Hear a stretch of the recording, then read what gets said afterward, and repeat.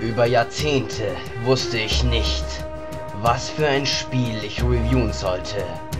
Doch dann fand ich diese Urkunde.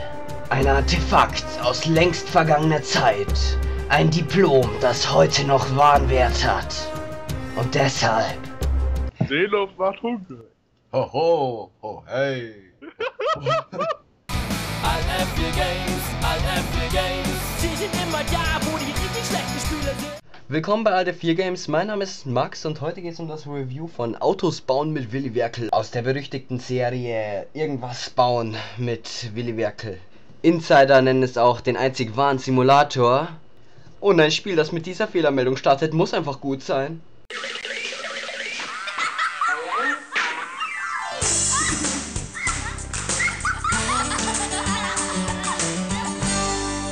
Kinderkram. Nach dieser epischen Intro werden wir gleich weitergeleitet zu einem Fenster, bei dem wir unseren Namen eingeben können. Dieser Name wird natürlich sofort zum pädophilen Netzwerk pedos.com weitergeleitet. Nachdem wir das alles eingegeben haben, startet auch schon die extrem epische Intro. mit seinem Boxer Buffer am Waldrand hinterm See an einem Steilhang.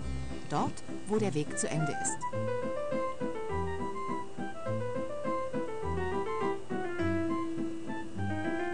Willi Werkel sammelt alte Sachen, Maschinenteile und allen Krimskrams.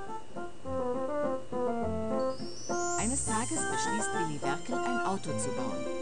Er will an das andere Ende des Weges fahren, um zu sehen... Was, was will man mehr als eine Straße, die einfach ins Wasser führt? Ein Ende, ein Ende hat, denkt Willi, muss er auch am anderen Ende eins haben. Und schon finden wir uns in unserer ja, Werkstatt. Getriebe Tja. und die Bremsen habe ich eingebaut. Ja, aber wer braucht schon Bremsen? In dem Spiel geht es vermutlich darum, die sogenannten Müllquests zu lösen. Und, tja, den wirklichen Sinn davon kennt eigentlich niemand. Auf jeden Fall holen wir uns aus dem Garten des Nachbarn verschiedene Teile und, naja, die bauen wir dann zu einem Auto zusammen. Und das ist vermutlich das Schwierigste an dem ganzen Spiel. Nicht etwa, weil es schwierig ist, Sachen zusammenzubauen.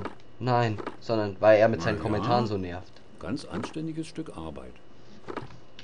Wenn wir uns dann aber ohne jede Individualität ein Auto zusammengebaut haben, können wir endlich damit losdüsen. Hey, wo ist mein Auto hin? Ich will nicht Matchbox-Auto fahren. Man beachte den Tacho, der bis 130 geht. Und so düsen wir dann ohne Bremsen durch die Landschaft.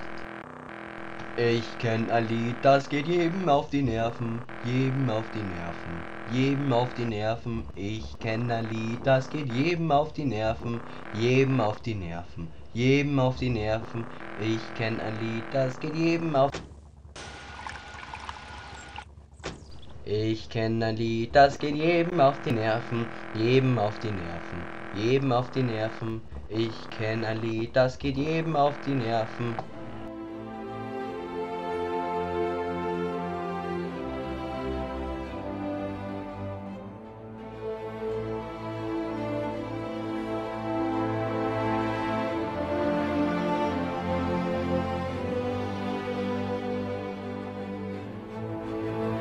Schwere Autos können ein paar Tonnen wiegen.